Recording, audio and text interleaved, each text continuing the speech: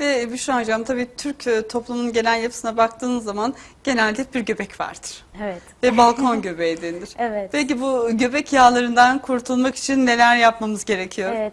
Aslında göbek yağlanmasının yani karın yağlanmasının en önemli sebeplerinden biri çok hızlı yemek yenilmesi. Biz yemeği çok hızlı yiyoruz.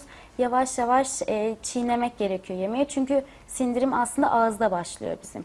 Bir lokmayı e, 25-30 olursa 40 defa çiğnemek gerekiyor ve o şekilde yavaş yiyerek e, aslında doygunluğu daha e, geç çabuk ulaştığımız için yemekten de zevk alıyoruz.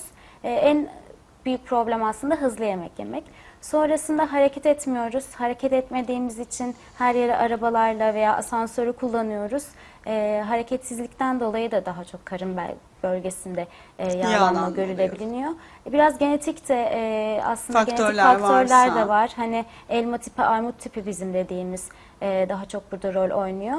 Ee, öğünlerimizde mutlaka yoğurt bul- bulunduralım. Ee, yoğurt aslında bizim karın bölgesi yağlanmamıza çok güzel bir şekilde yardım ediyor. Kuru bakliyat, özellikle yeşil mercimek ve nohut. Salata yapabilirsiniz, yemeğini tüketebilirsiniz. Bunlar da çok güzel e, karın yağlanmasına etki ediyor.